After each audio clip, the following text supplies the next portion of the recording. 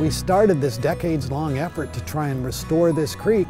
Uh, and over the years, it came back to life, and that has been so exciting and so rewarding and, just simply wonderful to see.